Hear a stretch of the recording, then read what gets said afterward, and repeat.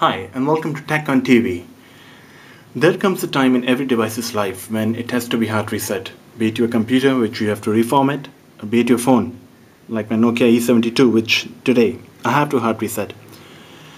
Nothing, there hasn't been any problem with the phone as per se. All the software which I have installed, some of them are in beta versions, they've all clashed up and made my phone kind of slow. So the best solution I have is to simply delete everything off my phone, hard reset it, bring it back down to the factory settings, and then start working on it again. Well, as Bryan Adams has said, one man's nightmare is another man's dream. It's my nightmare to install each and everything back, but still, once I have installed, uninstalled everything, I have to install them back. And guess what? We'll be covering each and everything on Tech on TV. So let's start with the hard reset. This is a Nokia E72 okay the code is okay mm, star hash 7370 hash. And it's asking to end all active calls and connection first. The best thing to do to do that is simply click on the power button and go down to offline. It will disconnect all calls all the edge and data connections will be shut down. It will go completely online. Now let's do it again. Star star hash 7370 hash. It's asking me to store all original phone settings and phone will restart. Yes. Generic code for Nokia is 1 2 3 4 5 okay.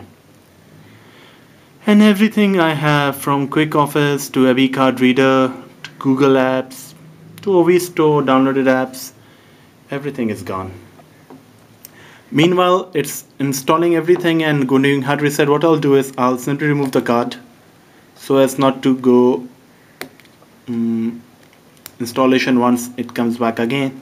I can just erase the card and the content which I don't want. I want Garmin, I have my complete Garmin thing in it, so I'm to remove it from here and wait for the phone to restart. It's working. It's gonna take some time. It takes somewhere around one to two minutes. It all depends on the phone. It all depends on how much data I have installed on the phone. For it to hard reset everything will be completely gone. The phone will be back to the original settings as it was when I got it out of when I got it out of the box. So beware. If you don't want to lose everything you have to be selective. You can just go and uninstall applications which you don't want. But like me I have a complete backup of each and everything I have on this phone so I don't have any problems of hard resetting it. And see we can see the Nokia logo coming over here. Connecting people.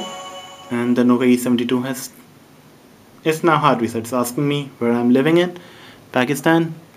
Select. Karachi uh, the date today is 18th of March 2010 which is also my son's birthday time is about 7.05 p.m. okay and it's asking me to set up my email